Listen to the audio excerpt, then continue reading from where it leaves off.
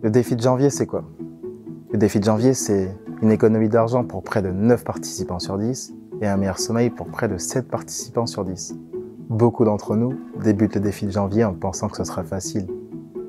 Puis, quelques jours plus tard, on commence à ressentir l'envie de boire.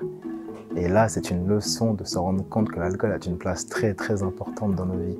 Mais de trouver cela facile est aussi une excellente chose. C'est un très très bon apprentissage. L'alcool, tout le monde n'en boit pas. Il faut savoir dire non.